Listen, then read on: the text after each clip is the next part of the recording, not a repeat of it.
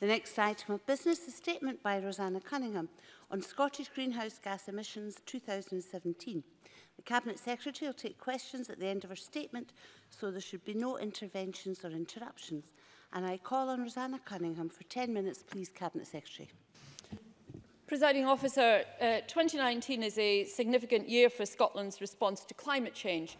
It marks the 10th anniversary of the 2009 Climate Change Act with its world-leading targets, and will be the year that we collectively make a step change in our response to the global climate emergency. Today's statement, however, requires us to look back a couple of years to Scotland's greenhouse gas emissions during 2017, for which statistics were published yesterday. This is the period prior to the current climate change plan, and it is worth remembering that these figures don't reflect recent action. Scotland's emissions are reported in two ways. Firstly, as the actual quantity of greenhouse gases emitted from Scotland. On this basis, the picture is positive, with emissions continuing to fall year on year, down more than 3% from 2016 to 2017 and almost halved since 1990. Scotland continues to outperform the UK in delivering long-term reductions and in the EU 15 we remain second only to Sweden. As in previous years, reported progress has been influenced by technical revisions to the greenhouse gas inventory, This time, revisions to historic forestry data mean that long-term progress appears less positive than reported in previous years. Even though Scotland's emissions fell from 2016 to 2017, the long-term reduction reported this year of 47% is less positive than that reported last year of 49%. The statistics also include figures on the adjusted emissions basis used for reporting on targets under the 2009 Act – which includes an accounting adjustment for the operation of the EU emissions trading scheme. This adjustment is based on the assumption that Scottish industry uses a fair share of the permits available through the scheme. In recent years, the number of permits made available across the EU has increased, so the assumed amount being used in Scotland has increased. Although this does not reflect reality on the ground, on this adjusted reporting basis, Scottish emissions rose by 3.7% between 2016 and 2017. Partly as a result of the EU ETS accounting adjustment and partly because of the inventory revisions, the fixed annual target for 2017 under the 2009 Act of 43.946 million tonnes of carbon dioxide equivalent has therefore been missed by around 2.5 million tonnes. This is, of course, disappointing. However, the position in terms of year-on-year -year changes in actual Scottish emissions remains positive. I would also like to correct some media reports suggesting that the target for 2016 was also missed. This is simply untrue. Scotland's statutory annual targets for 2014, 2015 and 2016 were all met and progress remains consistent with meeting the current interim target for 2020. Our new climate change bill includes changes to the target framework to improve transparency and allow for clearer scrutiny of progress. The bill proposes targets based on actual rather than adjusted emissions and includes mechanisms to manage the year-to-year -year effects of inventory revisions. Looking at the statistics in detail shows that we have seen reductions in emissions across most sectors since 1990. Emissions from energy supply and waste are both down by almost three quarters. Industrial emissions are down almost 40 Residential emissions are down almost a quarter and those from public sector buildings are down by over a third. Agricultural emissions are down by almost 30%. Continuing to drive down emissions in these sectors and tackling those sectors where reductions are more challenging won't be easy. However, we have to meet the challenge. Transport remains Scotland's largest source of emissions, and we recognise that emissions from transport have been rising. Scotland already has the most ambitious agenda in the UK for decarbonising transport, including our commitment to phase out the need for new petrol and diesel cars by 2032, and we continue to prioritise investment in active travel and have maintained our active travel budget of £80 million for 2019-20. We are taking steps to further strengthen our policy framework through the review of the National Trans uh, Transport Strategy. Climate change will be a core theme. The Transport Bill includes provisions to support low emission zones and improve bus services. In addition, we are supporting amendments from the Green Party on workplace parking levies, which will be an additional tool for local authorities to tackle transport emissions. I visited Glasgow City Council this morning. Glasgow has pledged to become the first carbon neutral city in the UK. And during the visit, I heard more about the ruggedised project, which sees the Council, Transport Scotland and Scottish Power working together to deploy rapid EV chargers and support the development of electric taxis in the city. And I hope the example of Glasgow will be followed by uh, other parts of Scotland. The second largest source of Scottish emissions is agriculture. The CCC's scenario uh, for net zero recognises that this sector will remain the most substantial source of emissions because the vast bulk of these are from biological sources inherent in food production. We are continuing to explore the potential for reducing emissions with both the agriculture industry and our renowned, uh, renowned scientific community to find solutions that are beneficial for the environment, Scotland's farmers and our wider food and drink industry. We should of course recognise that our farmers also contribute to emissions reduction through forestry, land use and electricity generation for which they must be given due credit. Buildings also represent a significant source of emissions, which is why we are transforming Scotland's homes, businesses and public buildings to be warmer, greener and more efficient. By the end of 2021, we will have allocated over £1 billion to tackling fuel poverty and improving energy efficiency to make homes warmer and cheaper to heat. We are currently seeking views on the potential impacts of accelerating energy efficient Scotland – Where we can move faster on our targets and continue to support a just transition to a net zero economy across both rural and urban Scotland, we will. Presiding officer, the Committee on Climate Change acknowledge that higher overall levels of ambition require more expensive and harder to implement options. That is not a reason to avoid taking action. It does, however, mean difficult choices, not just for government, but for this parliament and society as a whole. And it will also mean the UK government playing its part.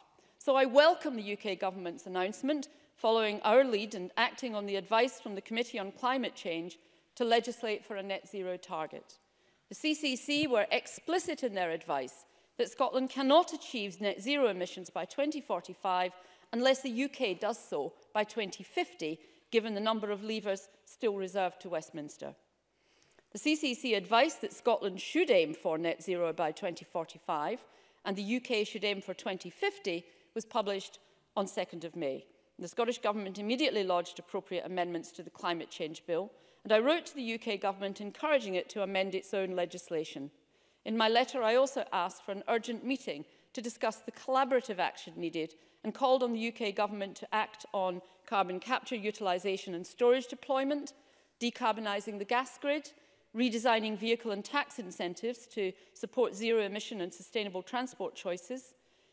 committing to adhering to future EU emission standards, reducing VAT on energy efficiency improvements in homes, and ensuring continued support for the renewables industry.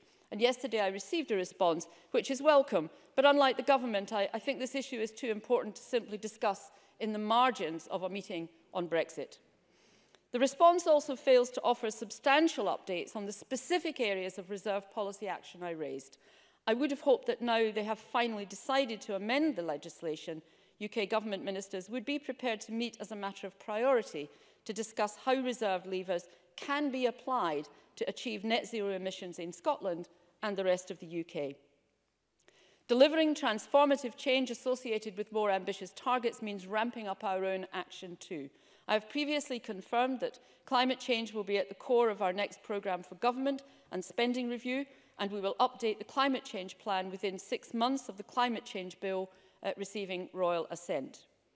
In my statement to Parliament last month, I outlined the specific steps we had taken to strengthen our response since receiving the Committee on Climate Change advice, such as new and ambitious action on deposit return, agriculture, renewables, and a change in our policy on air departure tax. This will continue as all Cabinet Secretaries look across the full range of policy areas to identify areas where we can go further, faster. To conclude, while Scotland is demonstrating strong leadership and making strong progress, achieving the transformative changes that are needed in response to the global climate emergency needs us as a country to go further, faster. This will be hard. There will be risks and challenges to overcome. There will also be tremendous opportunities not only in reducing emissions, but in growing and diversifying our economy, improving the well-being of our people, and protecting and enhancing our natural environment. When the First Minister declared that there is a global climate emergency, she said that Scotland will live up to our responsibility to tackle it, and that is exactly what we will do. The Cabinet Secretary will now take questions on the issues raised in her statement, and I intend to allow 20 minutes for that. It would be helpful if members who wish to ask a question would press the request to speak buttons now, please. And I call on Maurice Golden. Uh, thank you, Deputy Presiding Officer, and I thank the Cabinet Secretary for advance sight of the statement. There is much to welcome today in the fight against climate breakdown. The UK Government has announced that the UK will be the first major country on earth to commit to net zero emissions, a game-changing decision that challenges the rest of the world to follow our lead.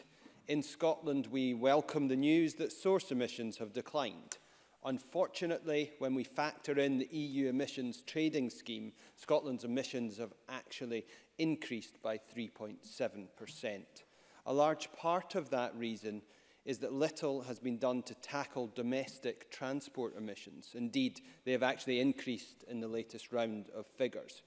Does the Cabinet Secretary agree that time has come for this government to replace words with action and mandate that public procurement defaults to electric vehicles where possible?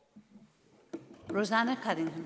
Um, uh, I, I thank Morris Golden for uh, the um, Uh, the welcome for a significant part of uh, uh, the um, figures that have been uh, published. Um, uh, I, I would, as he might expect me to say, uh, that uh, I would want to say that I think Scotland is a major country and that uh, while the UK reaching net zero by 2050, uh, Scotland doing so by 2045 does put us in the vanguard.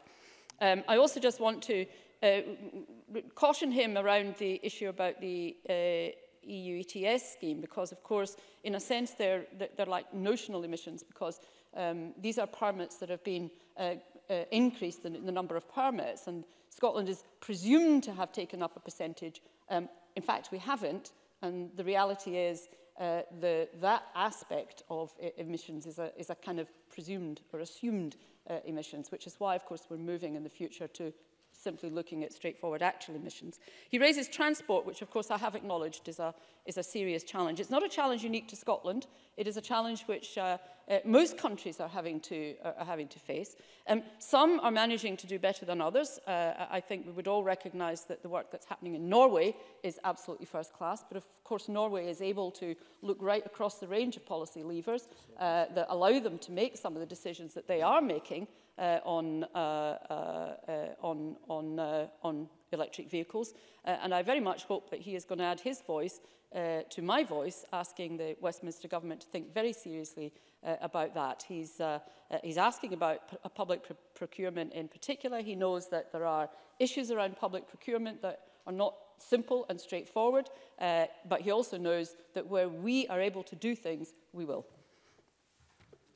Claudia Beamish. Uh, thank you, Presiding Officer. As the Cabinet Secretary says, we face a climate emergency. Some of the sectoral emissions uh, figures are indeed uncomfortable. This is a stark reminder that we have significant challenges to meet our net zero target. But we know it is possible with concerted and urgent policy action, and Scottish Labour commits to making sure, along with others across this chamber, that the reassessment of the climate change plan will be held to the highest standards. uh, the transport emissions rising year on year is indeed completely unacceptable. Yet already, Scottish Labour amendments to strengthen the LEZ have been blocked by this government in the Transport Bill. Uh, can the Cabinet Secretary explain this Cabinet contradiction? And will she meet with me to discuss my amendments to set the Just Transition Commission in statute on the face of the Climate Change Bill, which will ensure the way forward supports affected workers and communities in a fair way throughout the shift to net zero. Rosanna Cunningham. Vigorous um, uh, discussion going on in connection with the transport bill, but I think the member is well aware that that um, is not something that I would be uh, absolutely directly involved in. Um, and, uh, uh, uh, you know, while I have frequent conversations with the Cabinet Secretary for Transport and Infrastructure, um, uh, at the end of the day, he will be making the decisions that he considers to be the right ones uh, uh, to make. Um, I am always available to speak to the member um, uh, about just transition or any other subject, and uh, she knows that we have uh, undertaken to have a look again at how we perhaps might uh, go some way to, to, to, to meeting what she wants. But if she wishes a formal meeting, I'm happy to oblige. We move to open questions, so concise questions and answer, please, would allow everyone to make their contribution. Uh, Mark Ruskell, followed by Liam MacArthur. Thanks. Uh, the statement attempts to explain a missed climate target and restates existing current climate policies. But under Section 36 of the Climate Act, when the government misses targets, it is required to lay a report setting out policies to compensate. So when will this Parliament expect that report? And will it cover public transport, which is missing from this statement? Rosanna Cunningham. Um, well, once again, I'm being asked about a transport um, aspect to this, about which I'm not um, 100% certain. um, I am aware of the uh, members' particular interest in the Section 36, and I will undertake to have a conversation with them separately about that. Liam MacArthur, followed by Tom Arthur. Thank you. As the Cabinet Secretary acknowledged uh, the largest source of net emissions uh, is transport, and yesterday's figures confirm emissions from international aviation have increased 181% since 1990 the government stubbornly uh, continues its support for Heathrow expansion. Will the Cabinet Secretary not now accept that this position is incompatible with the climate emergency? And will she support my amendments to the Climate Change Bill, ensuring that the added impact of emissions at high altitudes are properly taken into account? Rosanna Cunningham. Well, well of course, Scotland already does uh, include a share of international aviation and uh, uh, shipping emissions, unlike uh, virtually every other country who reports on emissions I understand the Welsh Government has now decided to uh, do the same. I may be wrong in that, but I think that that is the case. Um, uh, the, the member is rightly drawing uh, attention to uh, uh, aviation uh, increases. Um, uh, Scotland, again, is not alone in that. There are a large number of countries uh, where aviation emissions have increased uh, fairly rapidly. Um, and uh, uh, that is something which uh, uh, needs to be worked on by including a fair share of international aviation and and shipping emissions, I think Scotland is being much more transparent about this. I'm not uh, aware of the specific amendment that uh, Liam MacArthur has lodged uh, in terms of the climate change bill. Um, I'm happy, of course, as always, to discuss it uh, with him, um, uh, but uh, I think it needs to be said that good international connectivity is vital for Scotland's economic prosperity in the future. So there is a real balancing act um, has to be brought into play here. And uh, uh, I notice that the CCC advise that net zero can be achieved by 2045 with emissions from international aviation and indeed agriculture being offset through carbon sinks. So there is some work to be done in and around that. Tom Arthur, followed by John Scott. Thank you, Presiding Officer. It's very welcome that the UK Government have finally followed Scotland's lead and acted on the advice of the Committee on Climate Change to adopt a net zero target day, date. However, would the Cabinet Secretary agree that given that the CCC were clear on the need for action in reserved areas to meet our 2045 target, there is now urgent need for the UK Government to engage seriously with the Scottish Government? Rosanna Cunningham. Well, the CCC did uh, make it clear that achieving our ambitions is contingent on UK-wide policies ramping up significantly. Um, that is critical, and I have written um, on the 2nd of May, again on the 20th of May, to the UK government uh, to request that urgent meeting. Um, we haven't yet been able to uh, organise um, that meeting, um, but it is, uh, uh, we need to discuss the collaborative action needed Um, whilst so many levers are still reserved, the UK government do have an essential role to play in decarbonising Scotland, and they need to accept that responsibility. Um, given the climate emergency, it is crucial that meaningful engagement takes place as a matter of urgency, uh, and I hope to be able to uh, ensure that it does. John Scott, followed by Stuart McMillan. Thank you, Deputy Presiding Officer, and can I declare an interest as a farmer? And while I welcome the Cabinet Secretary's acknowledgement of the contribution farmers, crofters and land managers have made since 1990 and during 2017, can I ask her what additional support she and Cabinet Secretary Fergus Ewing can give to agriculture in financial terms, but also in terms of recognition through whole farm measurements of individual farmers' contributions to reducing emissions by peatland restoration, by afforestation and decarbonised energy production on their land. Rosanna Cunningham. Okay, um, that's uh, a question which contains an awful lot of um, uh, detail, um, and I know that the member uh, uh, will understand that the, uh, uh, the range of issues that he's raised there uh, um, uh, do make it difficult to answer in a short space of time. Um, uh, uh, first of all, I would be one of the first to want to recognise the contribution that farmers do make um, the way the statistics are compiled makes it impossible to reflect it in the way they want in the stats. But of course, we are not in control of that process.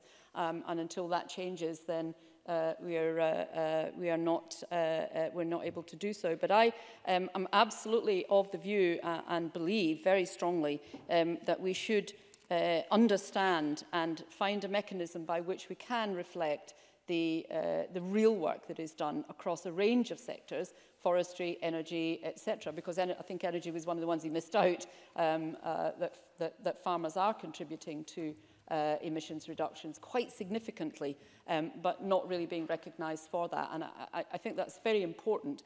Um, in terms of future economic support, um, I think the member will also be well aware that while the current Brexit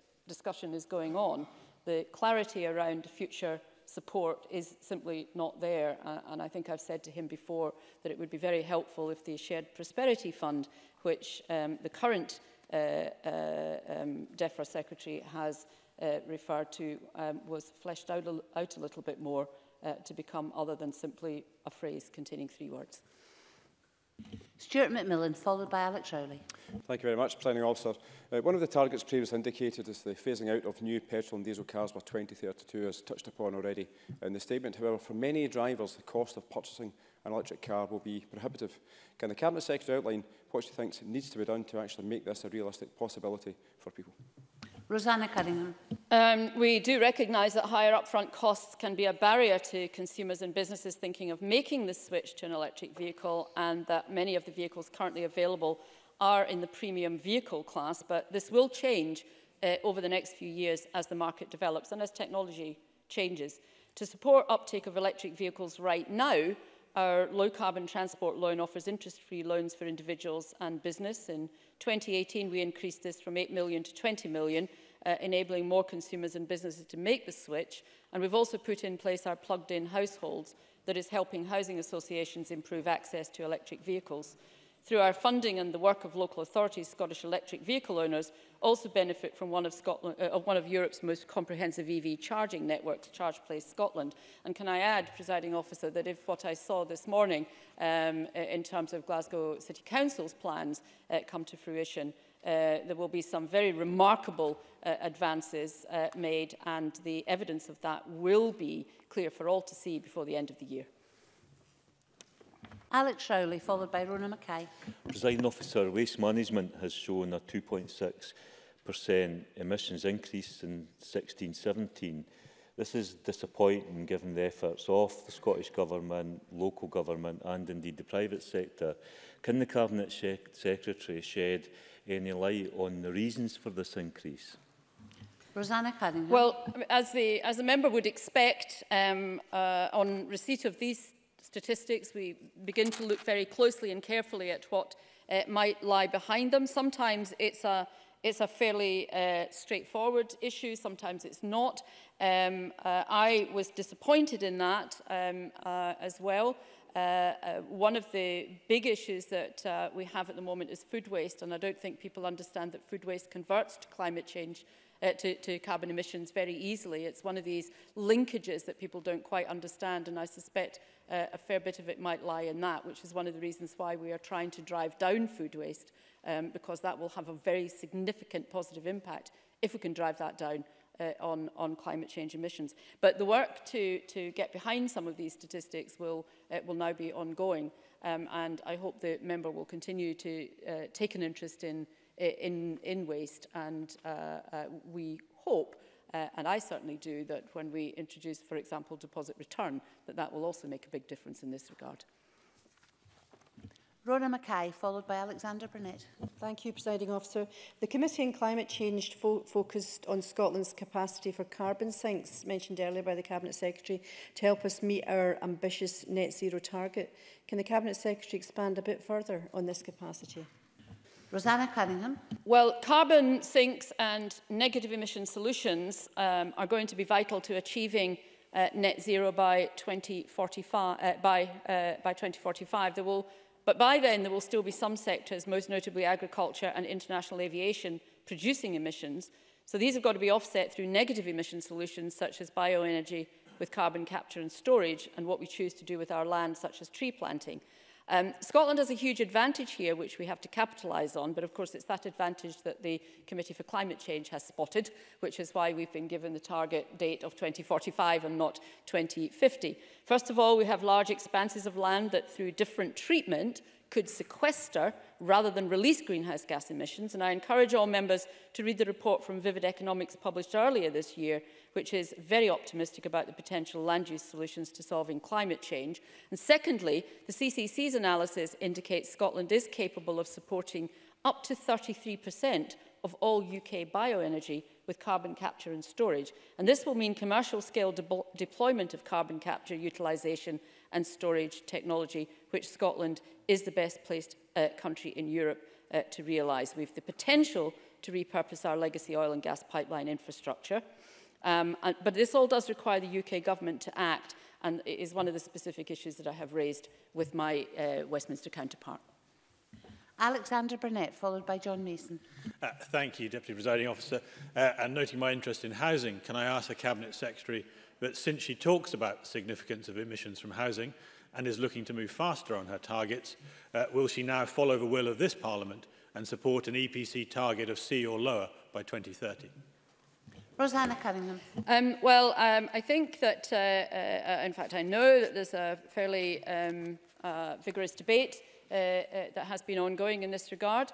Um, but I, I would remind the, the member uh, that uh, um, we also have a fuel poverty bill and fuel, fuel, well, Fuel Poverty Act now, I'm being reminded, um, that uh, uh, uh, we've got to make sure that the targets that we're achieving are aligned across that and not do anything in terms of housing that will create a bigger problem in terms of fuel poverty. It's one of the, the the complex uh, uh, interchanges that there are here that we've got to be absolutely certain that we don't disadvantage groups of people and end up causing an unjust transition, which is the danger if an unplanned and not particularly well thought through uh, um, uh, target date is imposed in an area where the consequences, the negative consequences, could be quite grave. John Mason, followed by Elaine Smith. Thank you. The Cabinet Secretary mentioned both transport and buildings in her statement, and sometimes the assumption is that electricity is the answer for everything. But uh, does she think that hydrogen has a part to play, for example, in ferries, in trains, and perhaps in the gas network? Rosanna Cunningham. Um, hydrogen and fuel cell technology are expected to play a significant role in the mix of drivetrain options to decarbonise the wider Scottish fleet. And my colleague on my left here advises me that there is to be a policy statement on hydrogen early next year. Um, he's nodding. As well as allowing renewable energy to be deployed across the transport, power and heating sectors, hydrogen has particular benefits in heavy-duty transport and intensively used vehicles, which we've already seen in respect of the deployment of hydrogen fuel cell buses in Aberdeen um, soon to be joined by additional vehicles and a new bus fleet in Dundee. Other heavy-duty vehicles using hydrogen fuel, such as refuse collection trucks and street sweepers, have also been trialled in Scotland, and we expect to see wider deployment as Council and other fleet operators decarbonise their operations on our journey to the net zero carbon target. Um, so Scottish ministers are very keen to support the hydrogen sector in playing the role it can in reducing emissions, as well as realising economic benefits for Scotland. And this is one of those areas where that is very distinctly possible. Elaine Smith, uh, followed by Willie Coffey. Thank you, President Officer. I see only one mention of poverty in the statement. However, I presume that the Cabinet Secretary accepts that rising emissions are likely to affect those on lowest incomes and in more deprived areas the most. And as such, could she tell the Chamber whether emissions reduction policies are currently being poverty-proofed or if not, how and when they will be. Rosanna Cunningham. We are constantly conscious of that. Um, that is one of the reasons why we set up the Just Transition Commission, because we know how uh, dangerous it can be if, if proposals are brought forward that aren't thought through in terms of their impacts on, on, uh, on groups of people. Um, and, uh, uh, and that is something that we keep uh, and will continue to keep uh, um, under our eye. Uh, uh you know, the, you uh, will have heard the exchange in respect of the um, interplay between fuel poverty and housing standards and energy efficiency. So we just have to be incredibly careful that we do things the right way so as to, to avoid precisely what I know the member is concerned about. The last question is to Willie Coffey. Thank you. Does the Cabinet Secretary think that the UK government decision to carry forward overachievement from the second carbon budget was the right one? given the Committee on Climate Change's unequivocal advice from February was that surplus emissions should not be carried forward as this wouldn't be consistent with the Paris Agreement. Rosanna Cunningham. Well, I did write to the UK government in March this year to say that the Scottish government would strongly oppose any carry forward of emissions to future UK carbon budgets. So I have to say I am disappointed that they have chosen to do so anyway. Um, whilst I note that the UK government has said that the carryover will be used only as a contingency against technical changes to the greenhouse gas inventory, the decision sends the wrong signals at an important time for domestic and international climate action. And it is one of the things that I would hope that I am able to discuss directly um, with my UK counterpart. That concludes questions on the Ministerial Statement on Scottish Greenhouse Gas Emissions 2017 and we will move on to the next statement please if members could shift themselves around quickly.